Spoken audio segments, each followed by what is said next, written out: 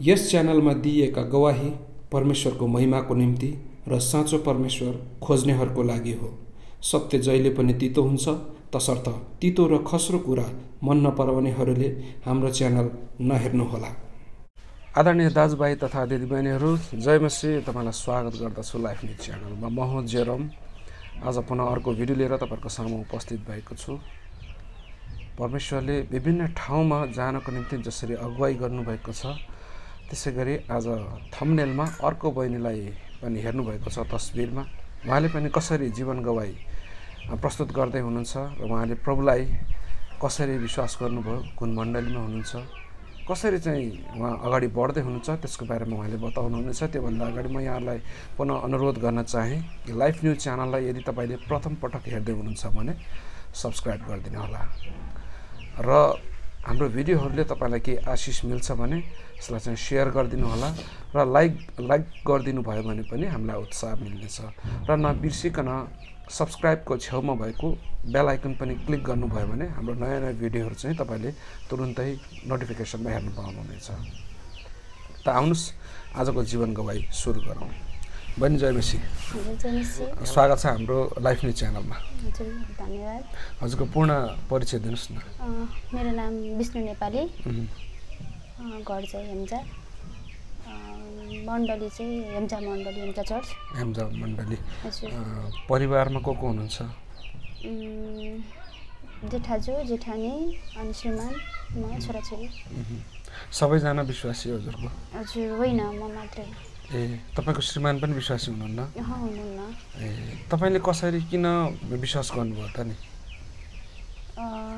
मैले भन्दाखेरि चाहिँ म चाहिँ पहिला मेरो माइत घर चाहिँ पुरुन्चौर हो। हजुर। अनि माइत घर चाहिँ पुरुन्चौर अनि उहाँ चाहिँ हाम्रो दुइटा दिदीबहिनी मात्रै हो। दाजुबहिनी चाहिँ हुनुहुन्थेन। अनि बाबा आमा हुनुहुन्थ्यो अनि म चाहिँ पहिलाबाट चाहिँ बाहुन म चाहिँ विष्णु नेपाली भएको कारण मेरो मेरो घर चाहिँ बाहुनहरूको माझमा थियो। म चाहिँ उनीहरूको सङ्गतले चाहिँ एकदम धर्म कर्म गर्ने है अब एकदम पूजापाठ गर्ने। हिन्दू अँ, एकदम कठोर थिएँ। अनि त्यसमा हुर्किँदै जाँदाखेरि म चाहिँ एकदम बाहुन जस्तै थिएँ। अनि त्यस पछाडि चाहिँ अब दाजुभाइ नभएको कारण म चाहिँ एउटा घरमा चाहिँ एउटा दाजुभाइको जस्तो जिम्मेवार बोक्ने छोरी पनि थिएँ। अनि त्यति बेला चाहिँ मलाई गाह्रो हजुर? म जेठी छोरी हो। अनि मलाई त्यति बेला चाहिँ गाह्रो हुन्थ्यो। अब बाबा आमा नि कस्तो गाह्रो थियो। मेरो दुइटा दाजुहरू हुनुहुन्थ्यो अरे। अनि बित्नु भएको अनि त्यस कारणले चाहिँ उहाँहरू चाहिँ अलिकति अम, खानुहुन्थ्यो अनि गाह्रो थियो मलाई अनि मेरो मेरो बहिनीलाई हेर्न पनि वरिपरि कोही मान्छे अनि हेर्न पनि मलाई गाह्रो थियो अनि मलाई कतै कस्तो एकदम खल्लो लाग्थ्यो। अनि अरू चाडबाड आयो भने पनि जे आयो भने पनि मलाई त्यति राम्रो लाग्थेन अनि खुसी हुन्थिनँ म। अनि कस्तो एकदम निराश जस्तो हुन्थ्यो म त्यति बेला। अनि त्यस पछाडि चाहिँ मेरो चाहिँ त्रिसठी साल माघ चौबिस गते चाहिँ मेरो चाहिँ बिहा बिहे भयो। अनि हेम्जामा। अनि त्यस पछाडि चाहिँ म भर्खरै बिहा भएर अनि हेम्जामा आएको अनि मेरो चाहिँ साइली सासू चाहिँ विश्वासी हुनुहुन्न रहेछ। अनि घरमा चाहिँ त्यति बेला मेरो जेठानीको बिहा चाहिँ भएको थिएन म एक्लै थिएँ घरमा। नि सासू ससुरा अनि नन्दमाजु कोही पनि हुनुहुन्थेन।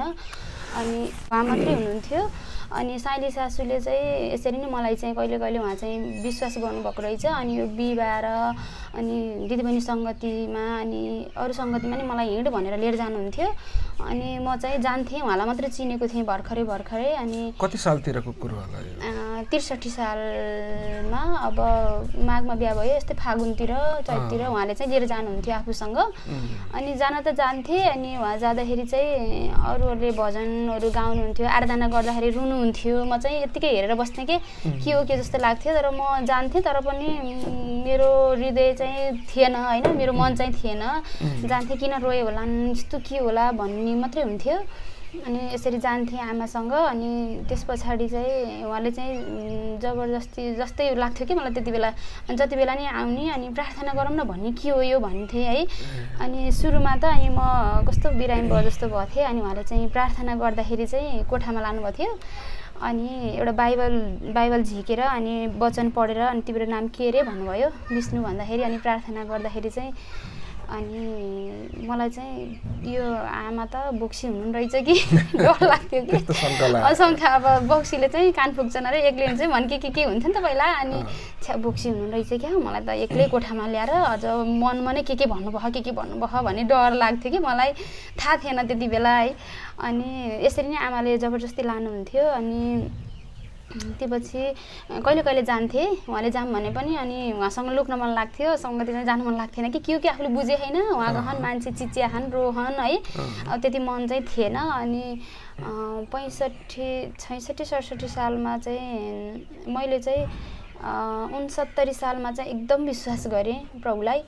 भनेपछि त्यो छ सात वर्ष चाहिँ त्यत्तिकै कहिले कहिले जाने। तर त्यो मैले चाहिँ आफ्नो हृदयबाट चाहिँ प्रभु हुनुहुन्छ भन्ने थाहा थिएन त्यत्तिकै जाने। मान्छेहरू यस्तै हुन्छ यस्तो भन्ने मात्रै लाग्थ्यो। त्यहाँ अब रोगी बिरामी आ जस्तो अलि गरिब मान्छे मात्रै गयो जस्तो कस्तो कस्तो लाग्थ्यो कि? एकदम खासै मन पर्थेन। अनि उहाँले जबरजस्ती लगाइ नि म यहाँ आउने अनि एकदम धर्म कर्म गर्ने एकदम उस गर्थेँ। अनि उनसत्तरी सालमा चाहिँ मैले यता चर्च पनि जाने यता मन्दिरमा पूजाआजा पनि गर्ने। हजुर त गर्नुभयो। चर्च कहिले कहिले जाने तर नि विश्वास थिएन अब अरूका लागि गइदिएको थियो गइदिएको जस्तै त भएको थियो त्यति बेला चाहिँ। अनि पछि चाहिँ आफू अनि जब मलाई चाहिँ उहाँले चाहिँ प्रभु हुनुहुन्छ भनेर मलाई जबरजस्ती भनौँ त्यति बेला है एउटा नयाँ करार एउटा पुस्तक चाहिँ मेरो हातमा दिनुभएको थियो। अनि त्यो चाहिँ मैले कहिले कहिले एक्लै हुँदाखेरि चाहिँ टाइम पासका लागि पढ्थेँ भजन। सङ्ग्रहहरू एकानब्बे त्यस्तो पढ्थेँ मैले।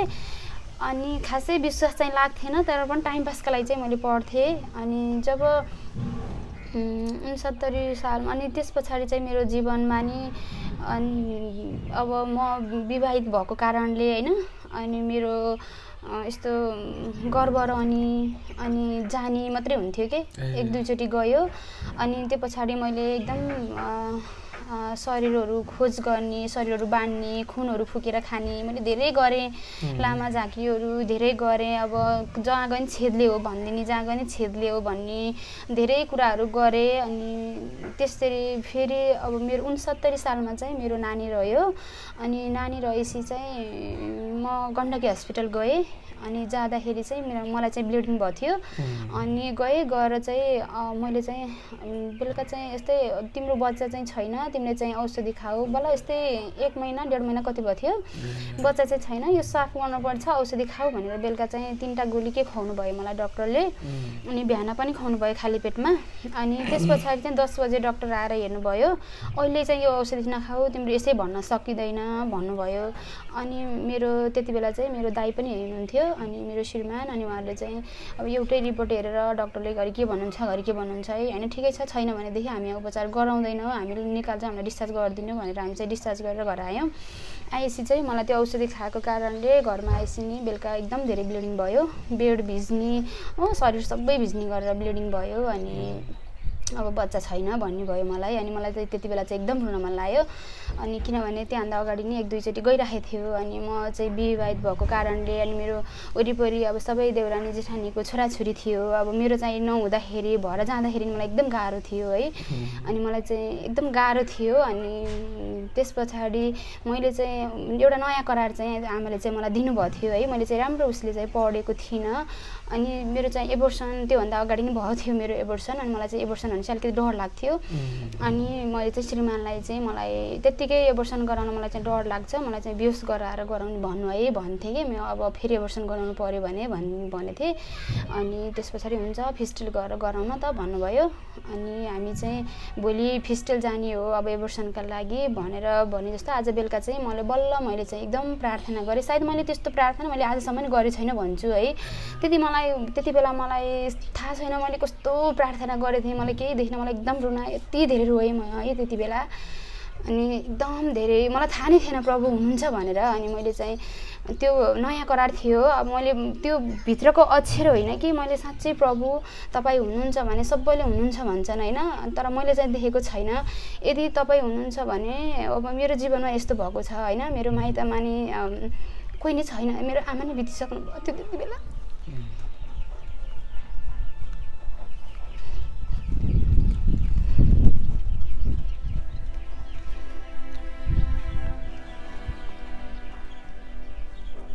अनि मलाई चाहिँ एकदम गाह्रो थियो अनि मैले चाहिँ त्यति बेला एकदम धेरै प्रार्थना गरेँ मेरो प्रभुसँग। अनि प्रभु अनि मलाई चाहिँ मेरो अवस्थाहरू तपाईँलाई थाहा छ मेरो माइतमा नि कोही छैन। अब मेरो नि यस्तो बच्चाहरू भएन भने श्रीमानले नि अब मैले के के सोचेँ है मलाई थाहा छैन। अनि एकदम धेरै प्रार्थना गरेँ मलाई एकदम धेरै रुन आएछ है म एकदम धेरै रोएँ कोही पनि थिएन वरिपरि तर मलाई पनि थाहा थिएन प्रभु हुनुहुन्छ भन्ने कुरा मलाई थाहा थिएन अनि मैले चाहिँ म आफैले तपाईँ हुनुहुन्छ भने प्रभु म कमजोर छु यति बेला होइन? मलाई थाहा छैन तपाईँ हुनुहुन्छ कि हुनुहुन्न मलाई थाहा छैन प्रभु। तपाईँ हुनुहुन्छ भने प्रभु मलाई शक्ति दिनु होइन? म कमजोर छु साँच्चै तपाईँ हुनुहुन्छ भने प्रभु मलाई शक्ति दिनु अनि मलाई सम्हाल्नु जे गर्नुहुन्छ तपाईँले गर्नु। मलाई थाहा छैन तपाईँ हुनुहुन्छ कि हुनुहुन्न भनेर म एकदम धेरै रोएँ। त्यो रातभरि मलाई एकदम धेरै रुन आयो। त्यो बाइबल च्यापे छु। मैले वचन पनि पढेको थिइनँ। श्री प्रभु हुनुहुन्छ कि हुनुहुन्न भने मलाई थाहा पनि थिएन अनि मैले प्रार्थना गरेँ। अनि भोलिपल्ट बिहान चाहिँ हामी चाहिँ टेस्टेड हस्पिटल गयौँ। अनि बच्चा एबोर्सन गर्ने भनेर गयौँ। अनि त्यस पछाडि चाहिँ अनि मलाई थाहा थिएन कुन डक्टरलाई देखाउने केही पनि थाहा थिएन। त्यो बाइबल मैले झोलामै राखेँ। त्यस्तो मलाई विश्वास के आयो कि आयो त्यति बेला है? थाहा नि भएन त्यो नयाँ करार अनि यसरी अनि त्यो बाइबल यसरी नै राखेँ अनि प्रभु म यसरी जाँदैछु। तपाईँ हुनुहुन्छ कि हुनुहुन्न होइन? उहाँ जाँदाखेरि चाहिँ मलाई राम्रो डक्टर भेटाइदिनु। असल तपाईँले गर्नु है प्रभु जस्तो गरेँ नि मलाई चाहिँ शक्ति दिनु है भनेर मैले त्यति भनेर अनि मैले त्यो पनि मेरो ब्यागमा राखेर हामी चाहिँ हस्पिटल गयौँ। अनि हस्पिटल जाँदाखेरि चाहिँ अनि डक्टर नि अब मैले आफ्नो प्रब्लम भने टिकट काट्ने ठाउँमा अनि राम्रो डक्टर डक्टर भेटाइदिनु भने अनि उहाँले चाहिँ आशिका श्रेष्ठको टिकट दिनुभयो।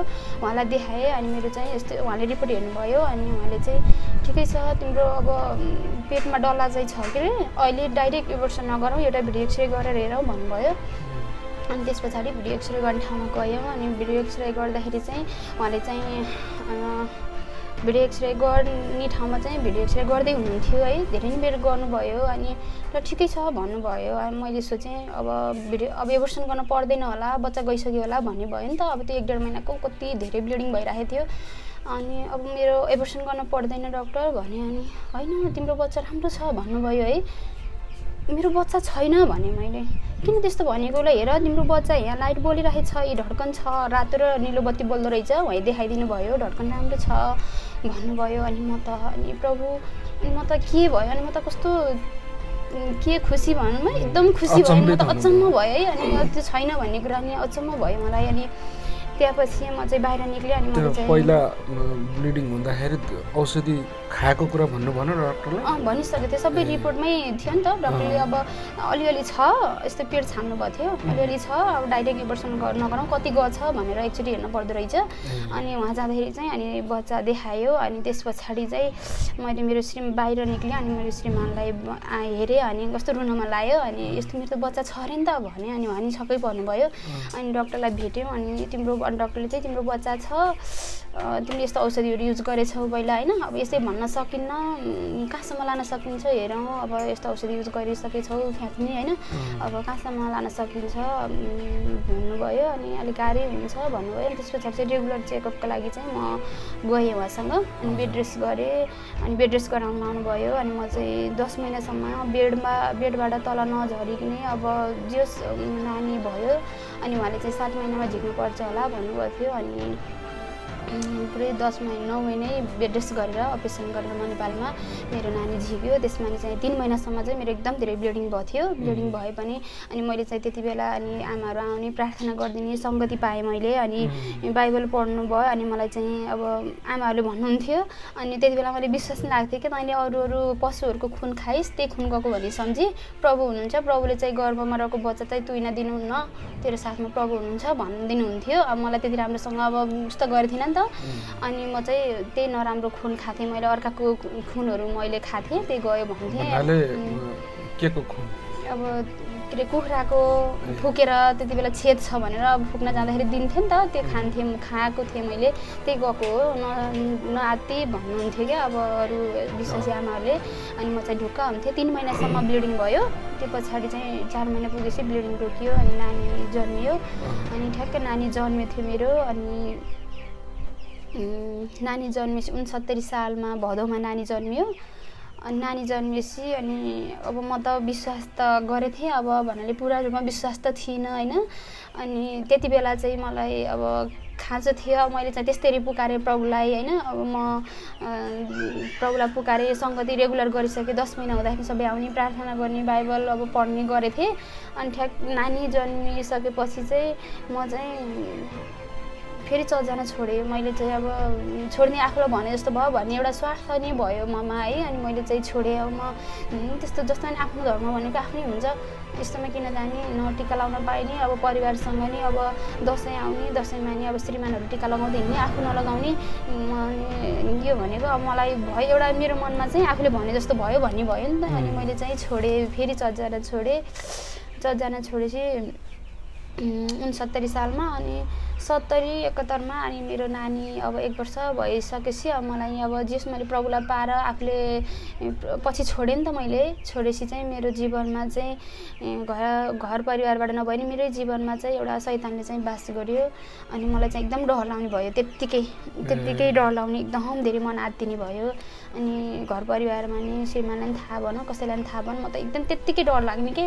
त्यत्तिकै डर लाग्ने भयो अनि एकदम धेरै आत्तिने अनि मान्छे नि खाना खाना मनै नलाग्ने अनि मनै आत्तिए जस्तो हुने अब के गरौँ र कसो गरौँ जस्तो हुने कि? मन त्यत्तिकै त्यत्तिकै आत्तिने त्यत्तिकै। अनि हस्पिटल चेक गर्न जाँदाखेरि चाहिँ म नेपाल गएँ अनि केही पनि छैन ब्लडहरू टेस्ट गर्ने सबै गरे तिम्रो शरीरमा केही पनि रोग छैन तिमी चिन्ता लिँदो रहेछौ बढी भन्नुहुन्थ्यो। मलाई चिन्ता नि केही थिएन त्यति बेला। अब श्रीमान पनि अब जस माया गर्नुहुन्थ्यो। अब घर परिवारबाट नि दाईहरूले पनि अब मेरो माइतमा दाई नभए पनि घरको दाईले दिदीले मलाई एकदम धेरै माया गर्नुहुन्थ्यो। अनि केही चिन्ता केही थिएन है मलाई केही पनि थिएन तर पनि डक्टरले चाहिँ चिन्ता लिएर होला। चिन्ता नल्याउ भन्नुभयो। अनि त्यस पछाडि चाहिँ म त्यत्तिकै नै आत्तिने खाना खान मन नलाग्ने कोही दौडेर आए पनि डर लाग्ने के भन्न आयो भने जस्तो मन त्यसै आत्तिने कि के गरौँ कसो गरौँ भने त्यस्तो भयो। अनि म चाहिँ एकदम धेरै दुब्लाएँ खाना खान मन नलागेपछि दुब्ली भएँ। पैँतिस केजी भएको थिएँ म त्यति बेला।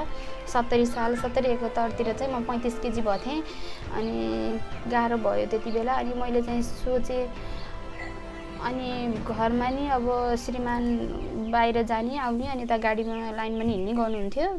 बाहिर गएर आइसकेपछि गाडी लाइनमा नि हिँड्ने गर्नुहुन्थ्यो। अनि त्यति राम्रोसँग नि सोधखोज गर्नुहुन्थेन। अनि मलाई नि अब को रहेछ त नि आफ्नो शरीर भएदेखि सबै रहेछ भन्ने त्यो भयो। अनि होइन म त प्रभुमा जान्छु। मलाई मैले प्रभुलाई पाएर पनि मैले छोडेँ है। मेरो जीवनमा यस्तो भयो।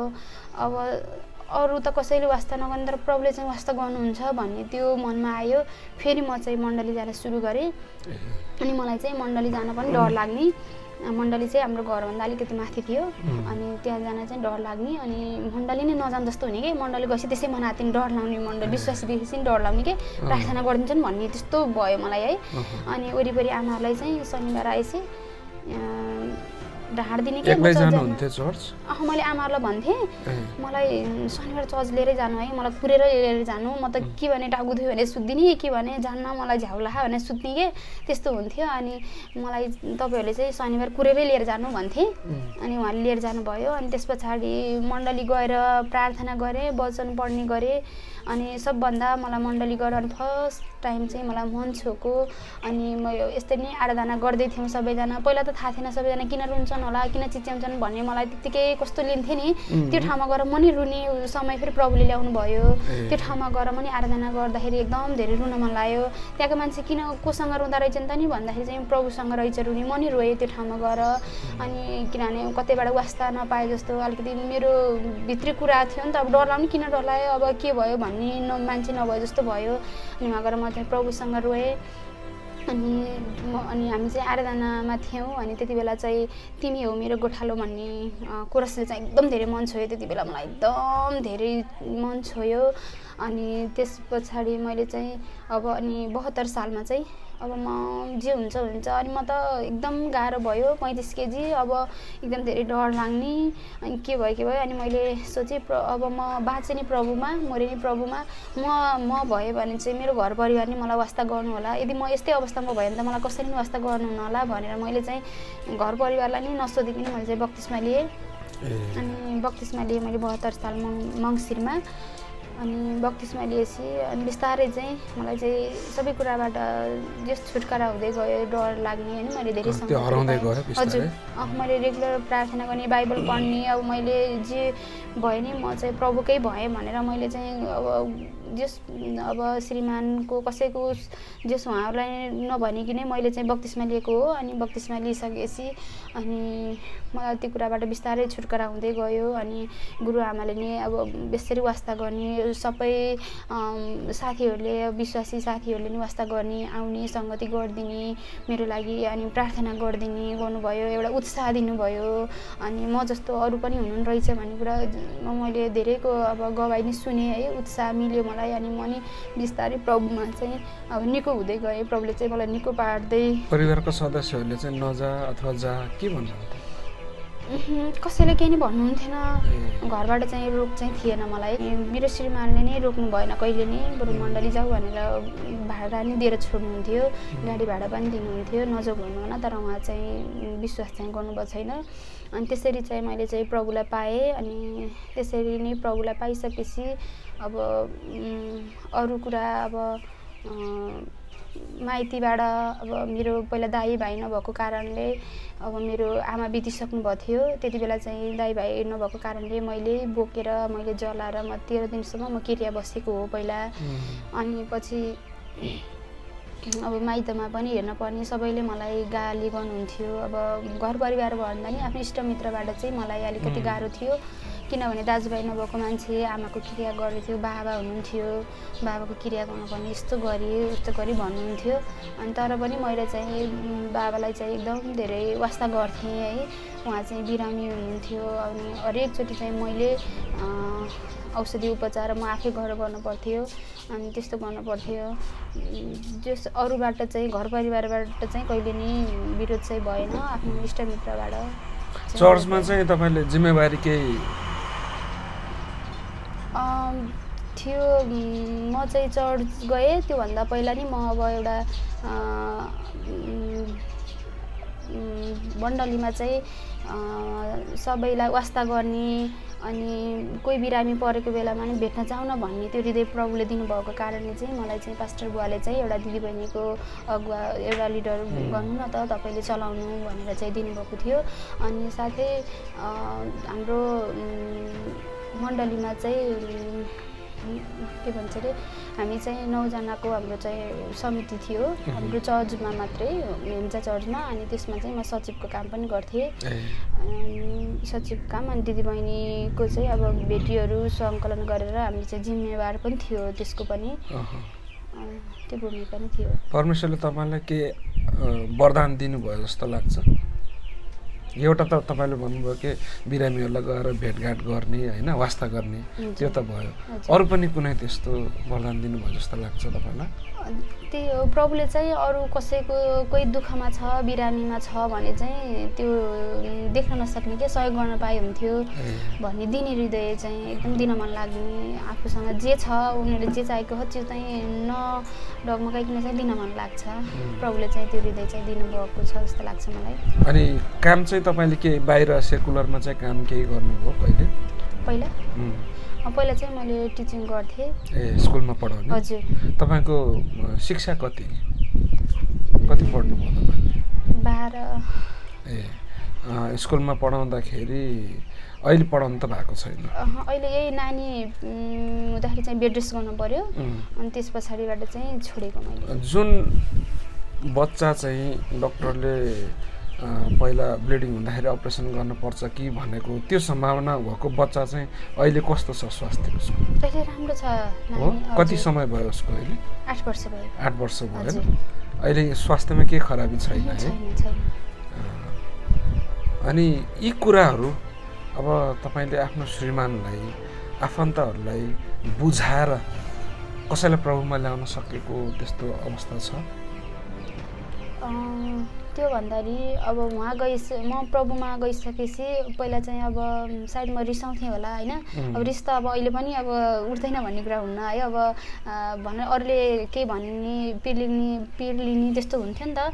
तर पनि अहिले चाहिँ प्रभुमा गइसकेपछि चाहिँ मैले आफ्नो इष्टमित्रले जे भने पनि म चाहिँ उहाँलाई चाहिँ वास्ता गर्छु उहाँलाई चाहिँ प्रेम गर्छु। अनि अब अहिले नानी अहिले आठ वर्षको भयो। अनि अहिले मेरो चाहिँ गए भदौमा अब यो भदौमा चाहिँ दुई वर्ष हुन्छ। मेरो बुवा बिरामी हुनुहुन्थ्यो पहिला क्यान्सर भएको थियो उहाँलाई अनि उहाँलाई क्यान्सर भयो अनि हुँदाखेरि चाहिँ अब भरतपुर लानुपर्ने अवस्था थियो अनि त्यति बेला चाहिँ मलाई चाहिँ गाह्रो थियो। मेरो नानी एउटा मात्र नानी मेरो श्रीमान बाहिर हुनुहुन्थ्यो। अनि मैले के गर्ने होला? अब उहाँ सधैँभरि जाने सम्भव पनि नै है। नानी सानो हो अनि टाढाको बाटो अनि उहाँ गएर बस्नुपर्ने। अब के गर्ने होला भने अनि मैले चाहिँ प्रार्थना गरेँ अनि चर्चमा नि मैले बिर्सिराखेँ। अनि उहाँ चाहिँ अनि गङ्गा गुरुङ। दिदीले चाहिँ यस्तो औषधिहरू छ त्यहाँ गएर खुवाउ बहिनी सबैलाई राम्रो भएछ भन्नुभयो रानी पौवामा अनि जस विश्वासीबाट पनि एउटा उत्साह पाएँ अनि सरसल्लाह पाएँ अनि अनि बुवालाई भरतपुर लिएर जाने साथीहरू पनि जस प्रभुले जुटाइदिनु भयो कहिले नसोचेको व्यक्तिहरूले पनि सहयोग गर्नुभयो। अनि उहाँ गएर अनि यता औषधि गर्दाखेरि पनि बुवालाई राम्रो भएको थियो। पछि भदौमा चाहिँ अब प्रेसरको कारणले चाहिँ उहाँ चाहिँ बित्नुभयो। अनि उहाँ बित्दाखेरि चाहिँ अब म चाहिँ पहिला आमाको पालामा चाहिँ मैले क्रिया गरेको भएर अनि बुवाको पालामा चाहिँ अब त्यो गरिनँ त्यो नगर्दाखेरि चाहिँ आफ्नो इष्टमित्रले चाहिँ अलि जियोस् राम्रो चाहिँ सोच्नु भएन त्यति बेला चाहिँ। अब राम्रो चाहिँ सोच्नु भएन। अब सधैँ राम्रो गरेर बोल्ने मान्छेहरू पनि बोल्नु भएन। ठिकै छ अनि मैले प्रभुलाई धन्यवाद भनेँ। अनि कतिले चाहिँ यस्तो धर्ममा जाने यस्तो गर्ने यस्तो गर्ने अब यस्तो जन्म दिएको बाबुआमा यस्तो गर्ने भन्नुभयो। जस प्रभुले देख्नुभएको छ कहिले चाहिँ होइन राम्रो हो यहाँभन्दा अगाडि कति धेरै वास्ता गऱ्यो होइन। मरिसित के छ र है बाँचिन्जेलसम्म गऱ्यो उसले भन्ने पनि हजुर त्यो पनि पाएँ। अनि त्यो पछाडि चाहिँ त्यसमा गर्दाखेरि चाहिँ अब मेरो विश्वासी अब वरिपरि आमाहरू हुनुहुन्थ्यो उहाँहरू भेट्न जाने वास्ता गर्ने गर्दाखेरि चाहिँ मेरो श्रीमानी खुसी हुनुहुन्थ्यो। वास्ता मैले धेरै पाए पाएको थिएँ अनि खुसी हुनुहुन्थ्यो त्यो पछाडि नै। भन्नाले तपाईँले सुसमाचार सुनाएर प्रभुमा ल्याउनु भएको कतिजना छन् अहिलेसम्म? कि कोही छैन? मैले नयाँ मान्छे सुसमाचार सुनाएर चाहिँ आउनुभएको भन्दा नि भर्खरै गएकोहरूलाई चाहिँ अब अब खोइ जानियो कि नजानियो भन्ने त्यो दोधारमा भएकोलाई चाहिँ हजुर। शिक्षा दिने चाहिँ हजुर। परमेश्वरबाट तपाईँले अब के आशा राख्नु भएको छ? भविष्यमा। प्रभुले चाहिँ मेरो जीवनमा चाहिँ धेरै काम गर्नुभएको छ। प्रभुलाई धन्यवाद होस्।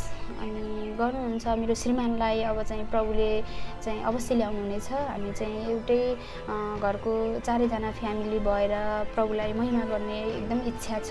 प्रभुले चाहिँ त्यो छिटै गर्नुहुन्छ भन्ने मलाई छ। त्यो यो यी समयमा चाहिँ प्रभुले फेरि मेरो जीवनमा चाहिँ अचम्मको काम गर्नुभएको छ है। म चाहिँ चर्च जाँदाखेरि चाहिँ प्रभुले कतिचोटि मलाई मेरो एकजना म चर्च जा चर्च गएको थिएँ अनि मैले चाहिँ एकजना दिदीलाई चाहिँ मैले बेलुका सपनामा शुक्रबार बेलुका चाहिँ मैले चाहिँ सपनामा देखेको थिएँ।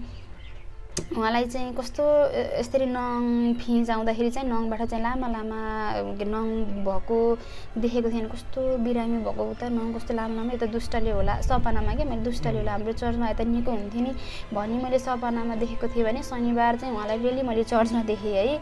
अनि मैले चाहिँ त्यो दिन चर्चमा उठेर उहाँलाई पनि भनेँ है। अनि उहाँलाई चाहिँ क्यान्सर भएको रहेछ अनि उहाँ चाहिँ बिरामी हुनु रहेछ है। अनि मैले उहाँको अनि उहाँलाई चाहिँ भेटेँ छुट्टै भेटेँ अनि हाम्रो घरमा नि आउनुभयो उहाँ। अनि उहाँ चाहिँ आएर आफ्नो कुराहरू भनेर कति रुनुभयो। अनि मैले चाहिँ एक दिन मैले चाहिँ प्रार्थना गर्दै थिएँ उहाँको लागि एकदम धेरै प्रार्थना गर्दै थिएँ है। उहाँको कुराहरू प्रभु पुगोस् भनेर उहाँको लागि प्रार्थना गर्दै थिएँ। अनि त्यस पछाडि चाहिँ मलाई मेरै मेरै लागि पनि प्रार्थना गरेर मैले प्रभुसँग छुट्टै प्रभु मलाई मेरो मेरो इच्छा नि तपाईँले पुरा गर्नुहुन्छ नि भनेर मलाई चाहिँ फेरि रुन आयो है। मैले चाहिँ प्रभुलाई फेरि आफ्नो कुरा पनि भन्नु भन्न पुगेँ त्यति बेला। अनि त्यो पछाडि चाहिँ यस समयमा चाहिँ मेरो नानी आठ वर्षको भएपछि अब माइतमा नि मेरो दाई नै भाइ नै अब मेरो बहिनी भएको भएर मलाई सजिलो भयो मेरो नानी छ मलाई त्यस्तो फिलिङ आउँथ्यो। एउटा नानी छ एउटा साथी भइदिएदेखि अब डक्टरले चाहिँ गाह्रो छ तिमी नपाऊ भन्नुहुन्थ्यो मलाई बच्चा। अब त्यो पछाडि मेरो नानी आठ वर्षको भयो। त्यो आठ वर्षको नानी भइसकेपछि बिचमा फेरि दुइटा एबोर्सन नै भएको थियो मेरो फेरि।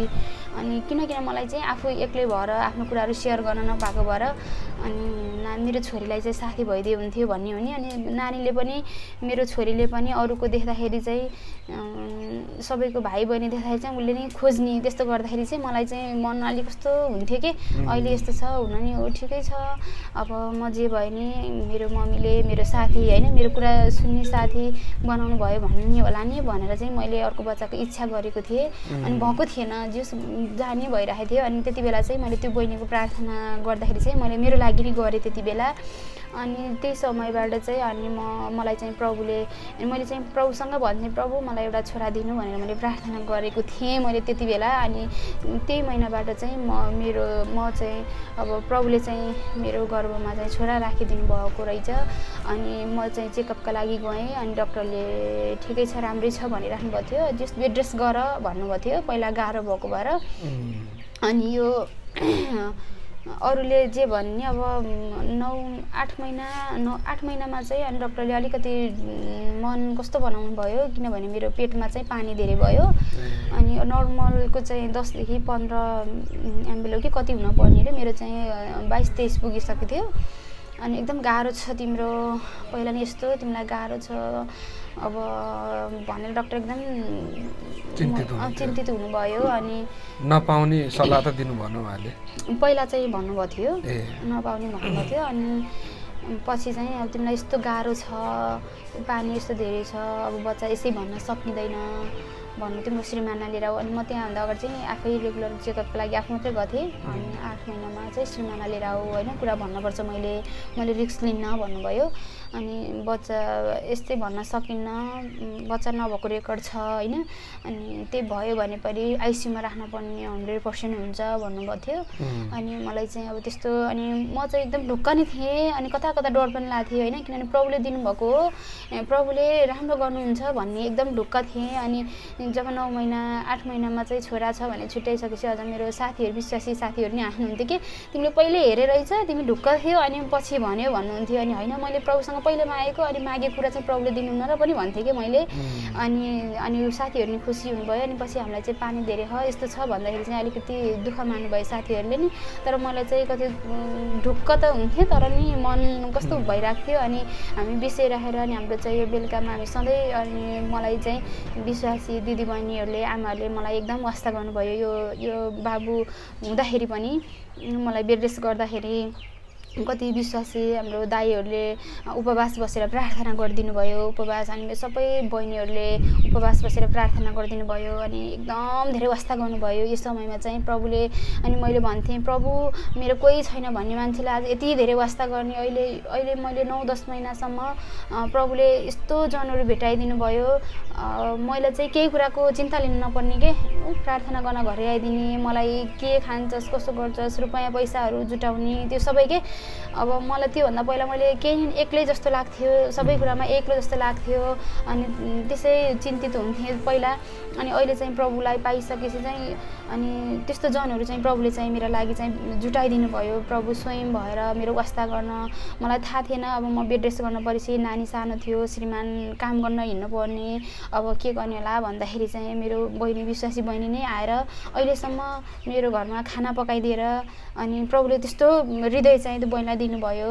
अनि म चाहिँ प्रभुलाई धेरै धन्यवाद दिन चाहन्छु। अनि त्यो बहिनीले चाहिँ अहिलेसम्म मलाई खाना पकाएर खुवाउने सबै वास्ता गर्नुभयो। अरू पनि जाने अब शरीरहरूमा तेल लगाइदिने त्यस्तो हृदय अनि पैसाहरू कति के छ कस्तो छ भनेर त्यो सोध्ने त्यो सबै प्रभुले त्यो विश्वासी जन्म है त्यो हृदय चाहिँ दिनुभयो त्यति धेरै वास्ता मैले चाहिँ पाएँ। अनि त्यो आठ महिनामा पानी छ भन्दाखेरि चाहिँ सबैले मेरो लागि प्रार्थना गर्नुभयो। अनि हामी चाहिँ बेलुका सधैँ मेरो घरमा चाहिँ सङ्गति गर्नको लागि चाहिँ दिदीबहिनीहरू सबैजना आउनुहुन्छ। अनि प्रार्थना गरिराख्नुभयो। अनि अपरेसन अनि त्योभन्दा पहिला म चेकअपको लागि जाने डक्टरले त्यसो भनेपछि अलिकति डराउने अनि अलिकति डराएपछि प्रेसर बढी देखाइदिने कि? अनि डक्टरले चाहिँ तिमी यस्तो डराउँछौ प्रेसर बढाएर कता दुःख दिने हो पनि भन्ने है। अनि म चाहिँ अब फेरि हस्पिटल जानु हो भनेपछि अब प्रेसर नाप्ने होला नापिदिने होला अब हाई छ भनिदिने होला अब के भन्ने होला? भनेर फेरि चाहिँ पहिल्यै डराइदिने कि? त्यस्तो भइदिने। अनि अब अनि अन्तिम अन्तिम आइसक्यो म त प्रभुको छोरी हो भन्ने। अनि यहाँ प्रभु हुनुहुन्छ नि साथमा म किन डराउने हो भन्ने त्यो हृदय फेरि प्रभुले दिनुभयो। अनि अगाडि सात महिनासम्म आठ महिनासम्म म डराएर अलिअलि प्रेसर बढाउने मान्छे अब मेरो अपरेसन हो भन्दाको दिनसम्म मलाई प्रभुले चाहिँ एकदम लिमिटमा राख्नुभयो है। त्यस्तो म अचम्म भएँ। सबैजना अचम्म मान्नुहुन्छ कि मलाई देखेर है। अनि प्रभुले चाहिँ सबै कुरा नर्मल बनाइदिनु भयो है। अनि अपरेसन गर्न जाँदाखेरि पनि अनि डक्टरले मलाई भन्नुहुन्थ्यो ल तिमी तिम्रो भगवान्मा विश्वास गर प्रार्थना गर म मेरो भगवान्लाई प्रार्थना गर्छु। अब के हुने थाहा छैन भन्नुभयो है डक्टरले। अनि मेरो चाहिँ पानी धेरै भएको कारणले गाह्रो भयो पछि पछि अब बच्चा नि ठुलो साढे पाउने चार केजी जति अब पानी धेरै हुँदाखेरि मलाई एकदम गाह्रो भइरहेको थियो पछि पछि। अनि मेरो चाहिँ माघको सत्र गते डेट थियो तर नि एक गते झिक्ने भन्दाखेरि डक्टरले अलिकति तिम्रो अलि डेन्जरै छ होइन पानी धेरै भएर म उस उहाँ डक्टरको छोरीको बर्थडे रहेछ एक गते। अनि उहाँ चाहिँ म खुसी हुन्न तिम्रो केही भइहाल्यो भने है म यस्तो गर्न सक्दिनँ। पहिले झिकौँ भनेर सल्लाहले झिक्यो। अनि अपरेसन गर्न जाँदाखेरि नि जस मैले चाहिँ प्रार्थना गरिराखेँ मैले अरू कुरा केही सोचिनँ। प्रभु तपाईँ हुनुहुन्छ भन्ने भयो। मैले चाहिँ प्रभुलाई एकदम धेरै पुकारेँ प्रार्थना गरेँ। ढुक्क नि भएँ। सबैजना एकदम चिन्तित हुनुहुन्थ्यो। सबैजना जानुभयो। अब डक्टरले पहिले यस्तो भनिदिएछ बच्चा नहुन नि सक्छ यदि भयो भने पनि आइसियुमा चाहिँ हन्ड्रेड पर्सेन्ट राख्न पर्छ भन्नुभएको थियो डक्टरले। अनि मैले चाहिँ फिस्टेलमा अपरेसन गराएँ। किनभने एनआइसियु चाहिँ त्यहाँ राम्रो छ भन्नुभएको थियो डक्टरले। राख्न पऱ्यो भने भन्नेले अनि त्यस पछाडि चाहिँ प्रभुले चाहिँ त्यो त्यो समयमा चाहिँ मलाई डक्टरले नि अब गाह्रो छ भन्नुभएको थियो है अलिकति टेन्सन थियो रुपियाँ पैसा नि अब श्रीमान घरमै भएको भएर अलिकति गाह्रो थियो। अनि तर नि सबैजना विश्वासी अरू जनबाट नि प्रभु बोल्नुभयो पैसाहरू पिर नगर है हामी छौँ भन्नुभयो कति पैसा चाहिन्छ भनेर घरमै त्यस्तो मान्छेहरू प्रभुले जुटाइदिनु भयो। अनि म चाहिँ फिस्टलमा अपरेसनको लागि गएँ अनि मेरो अपरेसन हुने टाइममा चाहिँ म चाहिँ जस परमेश्वरसँगै प्रार्थना गरिराखेँ डक्टरले अपरेसन गरिराख्नु भएको थियो डक्टरले के के बोलिराख्नु भएको थियो तर म चाहिँ प्रभुलाई पुकारिराखेको थिएँ। जे गर्नुहुन्छ प्रभु तपाईँले नै गर्नु भने अनि त्यस पछाडि चाहिँ मेरो चाहिँ छोरा डक्टरले चाहिँ निकाल्नु भयो अनि निकालिसकेपछि अनि डक्टरले चाहिँ मलाई देखाउनु भयो अनि ल तिम्रो बच्चा चाहिँ एनआइसियुमा लानुपर्छ। एकचोटि तिम्रो यस्तो गाह्रो छ पानी धेरै छ यो पानी निचिक्नुपर्छ भन्नुभयो। अनि उहाँ लगाइसकेपछि मलाई अलिकति टाइम लाग्यो किनभने पानी थियो धेरै अनि त्यो अपरेसन गरिसकेर मलाई निकालेपछि अनि अब मलाई मेरो बच्चा भन्ने मात्रै भयो है। अनि ढुक्क त थिएँ म किनभने प्रभु हुनुहुन्छ प्रभुले केही गर्नुहुन्न भन्ने थियो। अनि मेरो श्रीमान जानुभयो पहिलोचोटि मलाई भेट्न अनि त्यो वार्डमा जान दियो आइसियुमा अनि खुसी हुँदै जानुभयो। अनि त्यस पछाडि मैले बाबु भने अनि हाम्रो बाबु स्वस्थ छ एनआइसीमा राख्न परेन भन्नुभयो अनि म चाहिँ प्रभुलाई एकदम धेरै धन्यवाद दिएँ। अनि प्रभु तपाईँ साँच्चै हुनुहुन्छ प्रभु तपाईँलाई धेरै धन्यवाद भने अनि त्यस पछाडि चाहिँ त्यो समयबाट अहिलेको यो समयसम्म चाहिँ मेरो श्रीमान पहिला जे भयो नि छोरीलाई म टिका लगाउन लान्छु। मलाई केही नभने पनि कि उहाँले अब त्यस्तो व्यवहार गर्ने मान्छे अहिले अनि मलाई यो अब यो नाम राख्ने नारायण भन्ने हुन्छ है हिन्दूमा त अनि मलाई चाहिँ अलिक अप्ठ्यारो जस्तो लाग्थ्यो। प्रभु अब मैले के गर्ने होला प्रभु? मैले तपाईँसँग यसरी मागेँ अब मैले फेरि बुढो अब मेरो श्रीमान चाहिँ हिन्दू हुनुहुन्छ है म चाहिँ प्रभु तपाईँमा विश्वास गर्छु उहाँले यसरी मेरो तरिकाले गर्छु भन्नु भने त मलाई गाह्रो हुन्छ प्रभु भनिराखेको थिएँ। मैले अब मलाई त्यो थियो। अनि प्रभुले त्यो कुरा नि सुन्नुभयो अनि मेरो श्रीमानको हृदयमा चाहिँ प्रभु बोल्नुभयो अनि प्रभुले चाहिँ मेरो श्रीमानलाई चाहिँ सबै कुरा थाहा भएको भएर हामीले रात दिन गरेको प्रार्थना उहाँले सुन्नुहुन्थ्यो अनि उहाँले एकदम खुसी हुनुभयो है। अनि बाबुलाई आइसियुमा राख्न परेन भनेर एकदम खुसी हुनुभयो। अनि मैले चाहिँ उहाँलाई सोधेँ अब मैले के गर्ने हो? भनेको नि उहाँले चाहिँ तिमी तिमीले अहिलेसम्म मागेको कुरा मैले देखेको छु होइन? अब तिम्रो अब प्रभुले पुर्याउनु भएको छ हुन्छ तिम्रो खुसीले गर भन्नुभयो अनि मैले चाहिँ प्रभुलाई धेरै धन्यवाद दिएँ। अनि मैले चाहिँ हाम्रो मण्डलीबाट चाहिँ अगुवाहरू बोलाएर अनि नाम राख्नु अब जस बाबुको नाम राखियो त्यति बेला मेरो श्रीमानीसँगै बस्नुभयो अनि मलाई चाहिँ रोक्नु भएन। अहिले नै सङ्गति नहुँदाखेरि घरमा सङ्गति होइन भन्नुहुन्छ। उहाँ चाहिँ आउनुभएको छैन। अब प्रभुमा मेरो इच्छा यही छ कि प्रभुले चाहिँ मेरो श्रीमानलाई नै अब आएर सङ्गति गर्ने मन चाहिँ दिनुभएको होस् भन्ने चाहिँ इच्छा छ। हुन्छ धन्यवाद। हाम्रो दर्शकवृन्दहरू तपाईँहरूले पनि उहाँ विष्णु बहिनीको निम्ति प्रार्थना गरिदिनु होला। उहाँको श्रीमान त निश्चय नै आउनुहुनेछ र श्रीमान मात्र होइन उहाँको अरू सदस्यहरू पनि प्रभुमा निश्चय नै आउनुहुनेछ। किनभने एक मात्र बाटो जीवन र सत्य प्रभु येशू मात्रै हुनुहुन्छ। र यो वचन र यो जुन प्रतिज्ञा प्रभुले दिनुभएको छ त्यो तपाईँसँग पनि रहनु भएको छ। हुन्छ धन्यवाद विष्णु बहिनी यहाँले आफ्नो जीवन गवाई व्यस्त समयको बावजुद पनि दुई महिनाको बाबु छ उसलाई छोडेर भए पनि लाइफ न्युज च्यानलमा जीवन गवाई दिनुभयो। यहाँलाई धेरै धेरै धन्यवाद। हजुरलाई पनि धेरै धन्यवाद। यो समय खास विशेष गरेर प्रभुलाई धन्यवाद अनि हजुरलाई पनि धेरै धन्यवाद यो समय दिनुभयो। अनि म चाहिँ प्रभुलाई धेरै धन्यवाद। यो समयमा चाहिँ प्रभुले चाहिँ यसरी आफ्नो है गवाई आफ्नो कुरा प्रभुले मेरो जीवनमा गरेका कामहरू यसरी भन्ने मौका पाएँ। प्रभुलाई धेरै धन्यवाद होस्। हुन्छ। जय जय मसी। त दर्शकबिन आजको जीवन गवाई तपाईँलाई कस्तो लाग्यो? कृपया कमेन्ट सेक्सनमा कमेन्ट गर्नुहोला। यदि तपाईँलाई पनि जीवन गवाई बाँड्ने इच्छा छ भने तपाईँ पोखराको नजिक हुनुहुन्छ भने तपाईँले मलाई सम्पर्क गर्न सक्नुहुन्छ। डिस्क्रिप्सनमा मैले मेरो इमेल एड्रेस र मोबाइल नम्बर राखिदिएको छु। र यदि तपाईँ टाढा हुनुहुन्छ भने तपाईँले आफ्नै जिमेल बनाएर युट्युब च्यानल पनि खोल्न सक्नुहुन्छ। त्यसको निम्ति तपाईँले विभिन्न युट्युब च्यानलमा विभिन्न भिडियोहरू छन् त्यसलाई हेरेर एउटा युट्युब च्यानल पनि क्रिएट गरेर संसारभरिमा छरिएर रहेका कतिले प्रभुलाई पाएका र नपाएका व्यक्तिहरूले पनि सुसमाचारको रूपमा चाहिँ यस्ता भिडियोहरू तपाईँले बनाएर उनीहरूलाई बचाउन सक्नुहुन्छ प्रभुमा। यदि भन्दै आजको यो भिडियोबाट बिदा बिदा चाहन्छु। आगामी जीवन गवाई तथा विभिन्न प्रस्तुतिहरू लिएर तपाईँहरूको सामु उपस्थित हुने नै छु। त्यति बेलासम्म मलाई बिदा दिनुहोस्। जय मसी